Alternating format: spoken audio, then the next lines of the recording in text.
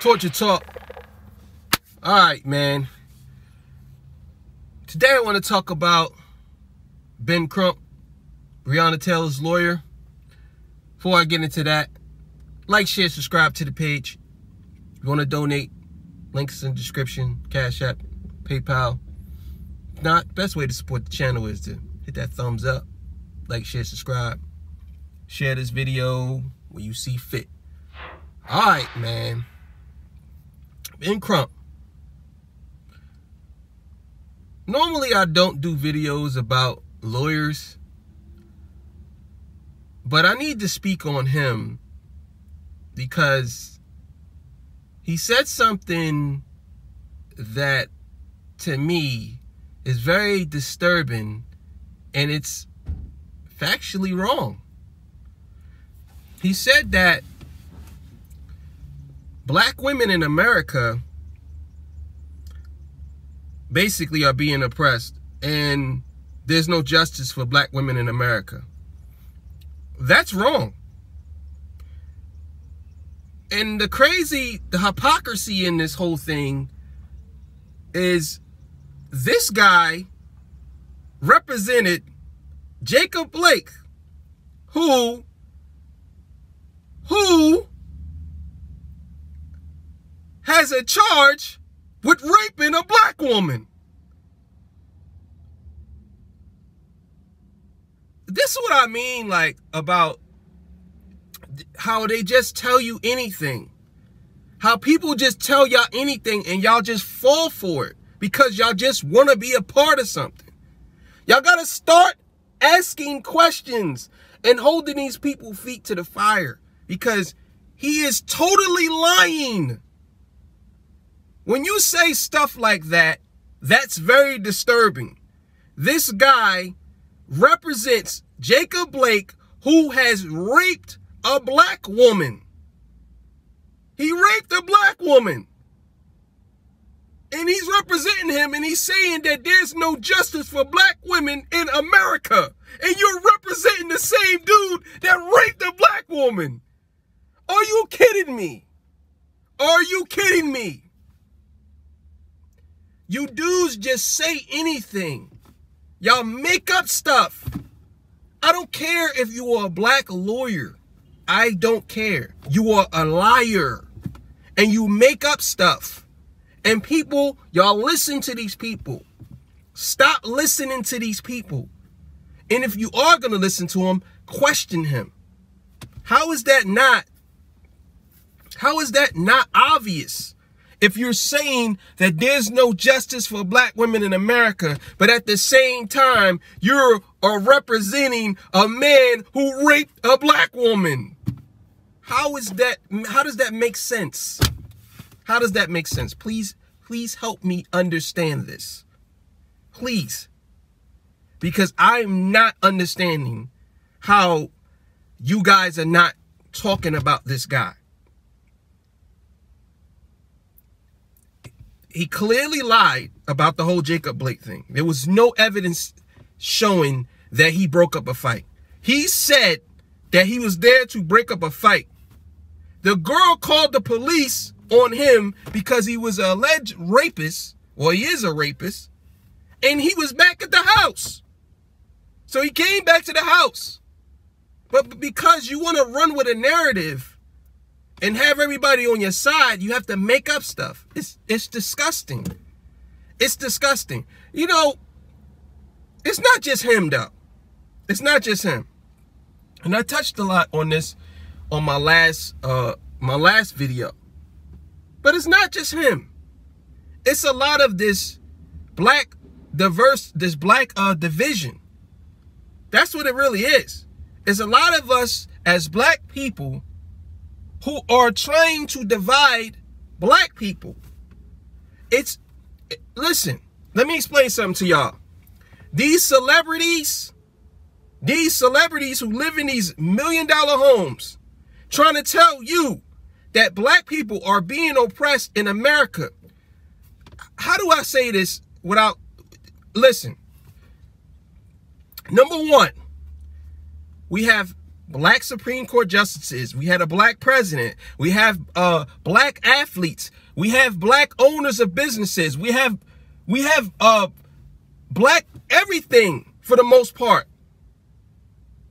For you to sit here and tell me most of the black most of the black entertainers or celebrities are are the richest. All of the rappers are black. And well, good a good percentage of the rappers are black. Matter of fact, I would say 99% of the rappers are black. 99% of the rappers that are successful are rich. Oprah Winfrey is black. Don Lemon is black. For you to get on TV and say that we're being oppressed in America, you are a liar because you're not being oppressed. And hope and most of y'all, y'all only defend criminals or just to keep yourself in the position you're in because you don't have an argument. So what you do is you say that most black people are being oppressed in America when you living in your mansion. LeBron James is black. This is unbelievable for people to say this. For y'all to say that we are being oppressed and you live it, uh, to be a black person in America. Oh man, it's it's it's crazy times. How is that? How? When most of the people that are getting killed or that we are defending, because every black life to me is very precious, but most of the people we are defending are criminals. A good percentage of the people that that live that life getting killed by police officers are criminals. Let's just be honest with each other. And I'm not saying that you that, that people don't change, and I'm not saying that you shouldn't help people. I'm not saying that. But what I am saying is for you to say that that us being for us being oppressed or we're being held down, show me where. There's no justice for black people in America. Show me where. Show me where. Show me where. Two or three cases does not put that on everybody. You can't tell me that. I know, I'm not gonna hear. I'm not hearing it, and I'm not believing that. I'm sorry. You can say, "Oh well, you should believe it." I'm not believing that because we as a people have came so far and we're going even further. But for people to sit here and say, oh, well, this, uh, we're, we're being oppressed.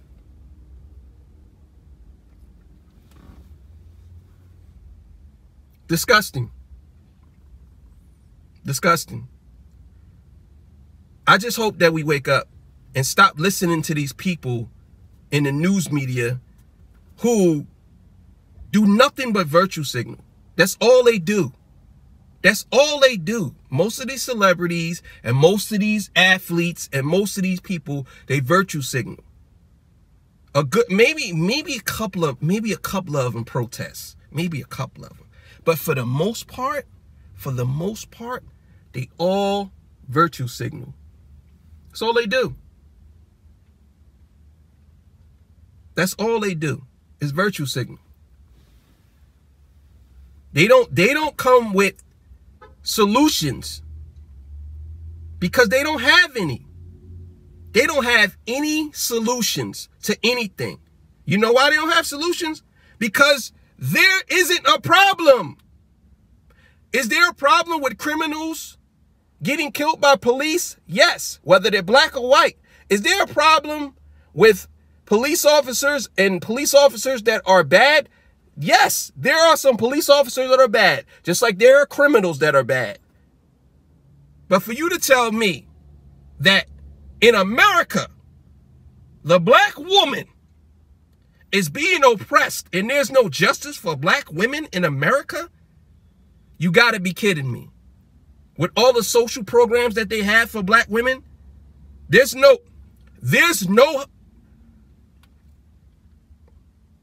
it's very disgusting and very disturbing because most of these people know they know it. But they only playing off of y'all because they know that y'all don't know it. Or y'all not gonna seek out information. Y'all just gonna go with it.